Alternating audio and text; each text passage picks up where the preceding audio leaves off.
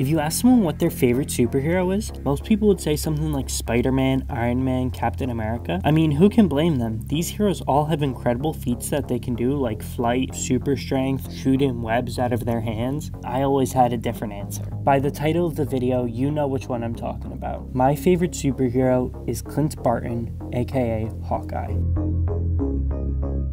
Hawkeye debuted in 1964 in Tales of Suspense, issue 57. He grew up on a circus and was mentored by the swordsman. He threatened to turn him in for stealing money. He was beaten and left for dead. In terms of solo series, he's only had a few small outings. In the 80s, he had a four issue miniseries in which he met Mockingbird and they foiled the villain Crossfire's plan to use a weapon that will make superheroes aggressive. At the end of this series, he lost 80% of his hearing, which would become one of his defining traits. He also had a 90 series and a 2000 series, both of which were unable to find success. However, that changed in 2012 when Marvel released Hawkeye by Matt Fraction and David Aja.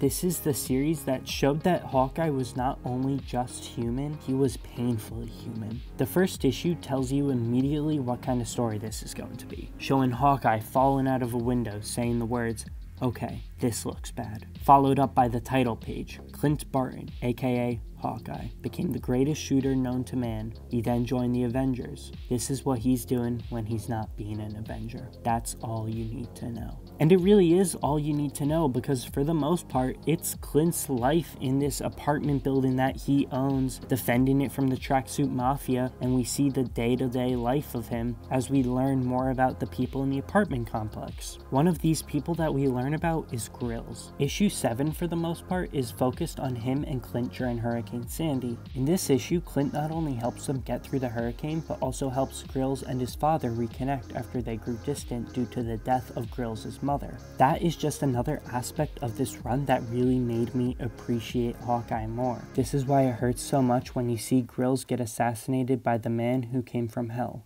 Kazimir Kazimierczak, also known as Clown. Despite only showing up for 8 issues, Kazi brings such an incredibly threatening presence with him. He has a somewhat similar backstory to Clint being raised in a circus, however his circus family was killed and he was later taken in by the tracksuit mafia with his friend Yannick. That friend later died in an explosion which transformed Kazi into the clown. He started killing for no reason and no remorse and eventually turned it into a career for himself He's also a very good match for Clint. This isn't a villain he can take down easily. This is somebody he fights tooth and nail with, and in the end, he loses his hearing once again by getting stabbed in the ear with one of his own arrows. Kazi is how Clint could have ended up if he went down a much darker path, perhaps if he ended up following the swordsman. Instead, we got the Hawkeye that we know and love. Kazi is an underrated villain, and I think he really elevates Clint in his series.